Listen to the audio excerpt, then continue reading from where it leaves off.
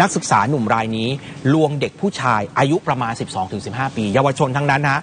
ถ่ายรูปถ่ายคลิปโป๊แล้วเสร็จแล้วฮะก็เอาคลิปเหล่านั้นหรือรูปที่ถ่ายนี่แหละ มาใช้ในการแบล็กเมย์ฮะข่มขู่เลยบอกจะต้องมาหาที่โรงแรมนะ แล้วปรากฏว่าตำรวจไปรวบตัวได้แล้ว เจอผู้เสียหายถึง 20 รายครับคุณผู้ชมฮะนี่เลยไปที่สพวังสะพุงครับคุณผู้ชมครับตำรวจวังสะพุงนำกำลังเข้าตรวจค้นในห้องพักของแรมแห่งหนึ่งในอำเภอวังสะพุงจังหวัดเลย พบตัวนายอานนท์อายุ 28 ปีครับเป็นนักศึกษามหาลัยชื่อดัง อยู่ภายในห้องพัก แล้วเจอถุงยางที่ใช้แล้ว 2 อันภายในห้อง ส่วนในโทรศัพท์มือถือตำรวจไปเจอภาพ แล้วก็คลิปโป๊ฮะของเด็กชายอายุ 12-15 ปีจำนวนมาก ก็เลยได้มีการตรวจยึดก่อนมีการนำตัวมาสอบสวนที่โรงพักนะครับ ซึ่งจากการสอบสวนทราบว่าตัวนายอานนท์เนี่ยใช้ Facebook แล้วก็ Instagram ทักแชทคุยอย่างน้องผู้เสียหายรายหนึ่งชื่อว่าน้องบีฮะหลังจากนั้นเนี่ยก็ชักชวนให้น้องบีเนี่ยถ่ายรูปตัวเองขณะเปลือยกายท่อนบนส่งไปให้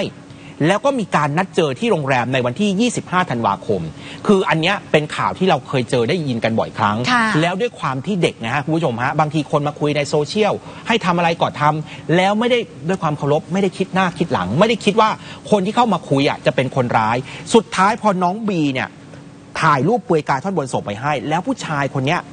นัดเจอที่โรงแรมนายอานนท์เนี่ยนะฮะให้มาเจอในวันที่ 25 ธันวาคม แล้วก็เอารูปที่น้องบีอะถ่ายนั่นแหละฮะ มาข่มขู่เลย บอกว่าถ้าไม่มาหาเนี่ยเดี๋ยวจะลงภาพในโซเชียล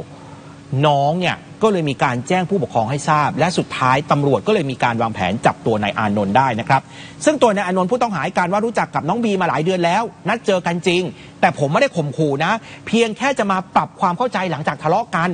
แล้วไม่มีเจตนาที่จะไปล่อลวง ส่วนภาพเปลือยที่มีผมก็ไม่ได้นำไปเผยแพร่ครับ แต่ว่าตำรวจสพวังสะพุงบอกไม่ปักใจเชื่อในคำให้การ เพราะหลังจากวางแผนจับกลุ่มก็อย่างที่เราเล่าให้ท่านผู้ชมฟังไป เพราะตรวจในมือถือ